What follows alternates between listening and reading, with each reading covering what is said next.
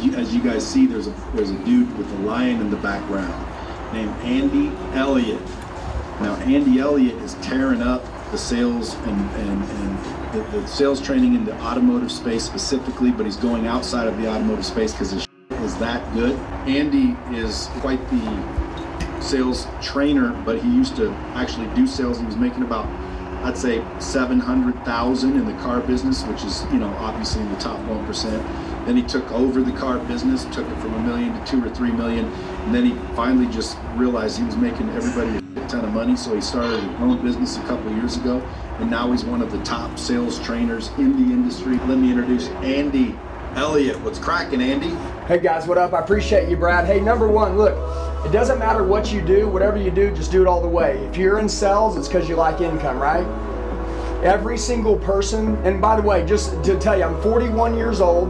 I started selling cars when I was 18. Everybody starts somewhere.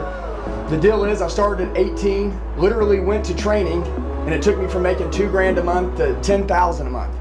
Went to training again, took me from making 10 to 20. I was like, damn, no one else is training. If I train, I just get better and I make more money.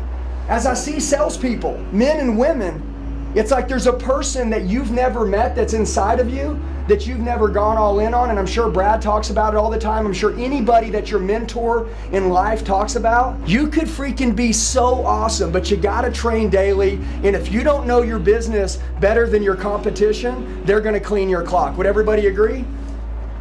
What is the difference between you playing all the way or not? What is it? Do you have the potential to make more money? Yes or no? You all said yes. Why aren't you? Look, write it down. The difference between where you are and where you want to go is the gap in your skill set. I'm pretty sure you've heard that a lot in your life. Some of you, it could be work ethic. You got to look in the damn mirror, and if you're not working like hell, you're not going to go to the top. It's just the way it is. Would everybody agree? If you're in sales, you got to work like hell. Okay, cool. So everybody's got to make the decision am I working like hell? That's between you and you. All right? Do you got more to give? Go give it. And I'm going to tell you what I meant, which was what your question was, is what does that mean if your competition knows your business better than you? I'm not in your space. But if I said today, I'm going to start coaching people on how to sell high ticket items, guess what? All I would have to do is push more energy than you. That's it. And then I would run you over. You might get some clientele, but you wouldn't take the big piece of the pie. Now here's the deal. You need to learn how to how to how to beat your own ass so your competition don't beat it. Does that make sense? No, that's the part I need help with. Okay, all right. So it means this. What holes do you have in your game? Number one, you need to increase your energy. Okay, can you do that for me? Yep. Would, hey, would everybody agree he needs to increase his energy? all right, all right. Do me a favor. Take your hands and put them up in the air like this. Can, can you use them when you're talking to me? Can you say, "Hey, Andy"? Yes. Andy, let me ask you a question. Can you just grab my damn head while you're talking to me? That's what I'm talking about. Can I ask you a question? Hey, guys, now is he closing the deal? Now we became alive. We just woke the damn lion. See, that's my deal. You were asleep in the beginning. And by the way, your business is ready to take off. Dude, but you gotta Yep. wake up, man. I mean it. That's a good point. Dude, you, you might be the smartest guy in the damn room, but I'm gonna tell you this. Somebody's gonna clean your clock if they have more energy, more conviction, more enthusiasm. And by the way, they may not even be as good as you. But they other people believe they're better than you based on their presentation. Okay?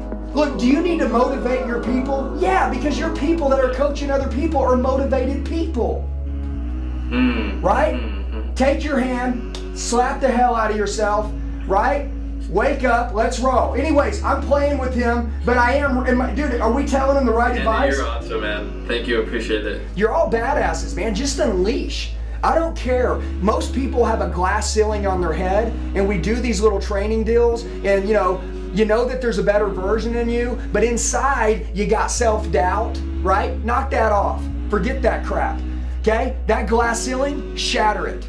Shatter that sucker. Okay? You have no idea what's capable for you when you stop putting limits on yourself. This ain't some motivational crap either. This is the real deal. It's about being driven. Look, how you wake up when the sun don't shine, how you wake up when you just lost your best customer, you know, how you wake up whenever you're dead broken on E and you ain't got crap. You know, how you wake, wake up when you're fighting with your husband, wife, your family. How you wake up on that day is how you should wake up every day. Freaking jacked up, driven, motivated.